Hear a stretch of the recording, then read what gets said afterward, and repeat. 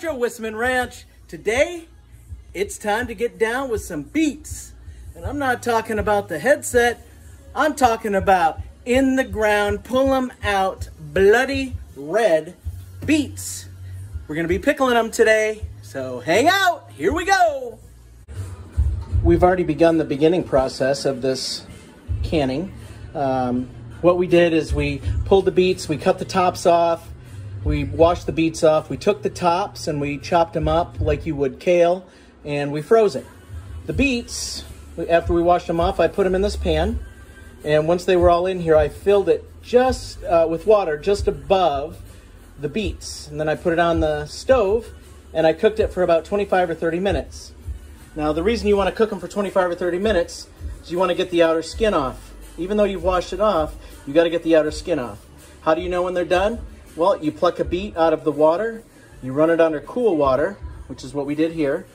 And if you can easily remove the outer skin with your fingers, it's finished. Turn it off, remove it from the heat, and start peeling them. And that's it for that portion.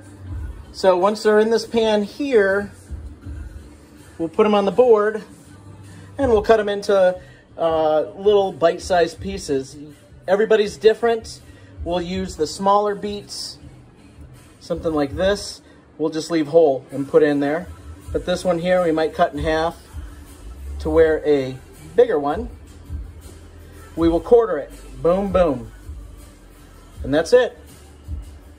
You're going to cut up a small onion and you're going to cut it lengthwise, just like a hamburger type uh, onion. Cut it like that, and then I cut it in half and put it in here. For your spice pack, you're going to take a three inch cinnamon stick and six to seven whole cloves. Put them on like a jelly cloth or cheesecloth, whatever. Put them on there. This is the finished product. And what I do is I just put it in there. And I am one for, I, I believe that you can reuse your other ones too. So what I've done is I've taken those and bam, put it in there. And I'll mix those in. Now the juice that you see is gonna be the leftover water. And what I did is I took a cup of this water that you cooked it in, and I usually take about a cup to a cup and a half, and it's called pot liquor. You can look it up, it's a true thing. Uh, but you take about a cup to a cup and a half of pot liquor and pour it in here. You're also gonna put in two cups of white vinegar.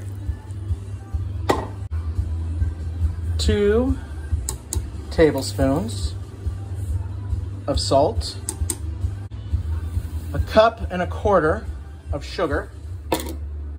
Once you get it together, you go ahead and mix it up. Oh, by the way, yes, I took my spice packs and I tie them with a rubber band. That way, boom, I don't have to do much of anything. And then I cook it on uh, medium to medium low heat. You can simmer it, whatever you need to do. But uh, I cook it on medium low, roughly, medium low heat. And I cook it until it all heats up nice and neat. And in the meantime, while I'm waiting on these to heat up and kind of start infusing the beets with all that good spices, I'll start cleaning up because beets make a horrible mess. And I'll start also prepping my pressure cooker. These are now done. I'm gonna go ahead and fill up these jars using this right here. And I'll fill them up, leaving a, uh, about a half inch head space, and then I'll put the caps on. Also make sure that you go through and remove the little spice, uh, the little spice pack that you made and put in here. And once you do that, I just put mine right here and I start putting them in there. These right here have already been filled. So the pot, I got a little bit left. I'll probably just keep those aside. But it made three quart jars. I put my spice pack there. Uh, I'll go ahead and make another one here. But we'll take these and we'll get them, we'll clean off the top. Make sure you clean off the tops. And then you'll put the lids on there and we'll put them in the pressure cooker.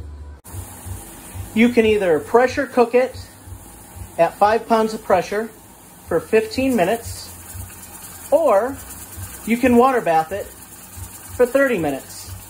We choose the pressure cooker. It's quicker. Plus with the onions and everything, we just want to make sure everything's groovy. I've let these go. They did their thing for 15 minutes. It's hard to do this with one hand.